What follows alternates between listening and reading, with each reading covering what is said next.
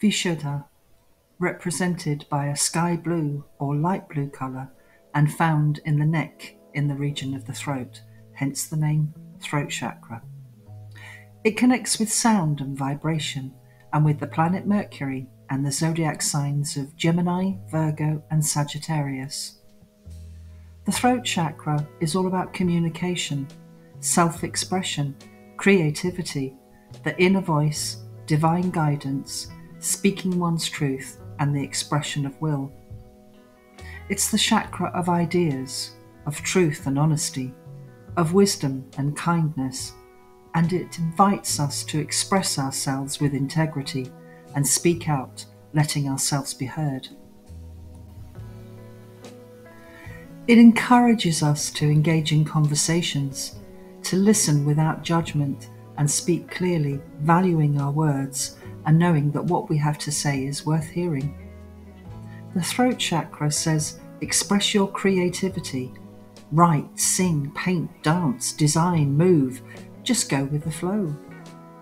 When this chakra is in balance, we feel the need to release our expression in whatever form that may come, and we feel open to receiving without holding back.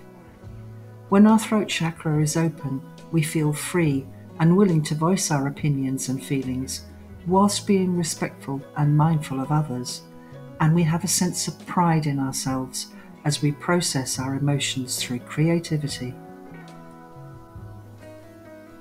On the physical level, this chakra controls the neck, jaw, vocal cords, mouth, eyes, bronchial passage, ears, nose, thyroid and parathyroid glands, the arms, digestive tract, and menstrual cycle, as well as the throat.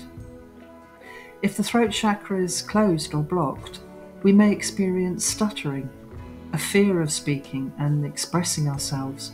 We may find it hard to communicate as we fear being judged, and we can feel unworthy of being heard or speak abruptly in anger.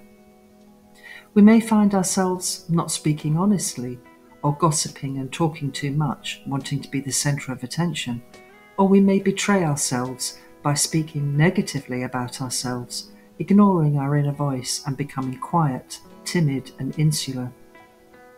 Perhaps we can't express ourselves creatively and we become frustrated and feel trapped. Sometimes blockages in the throat chakra can manifest physically, turning into sore throats, tonsillitis or coughs, and sometimes into ear infections and thyroid diseases. Some essential oils to help unblock the throat chakra are frankincense, ylang ylang, chamomile, peppermint, and geranium. And sipping a mint tea or chamomile tea will also assist to soothe the throat area.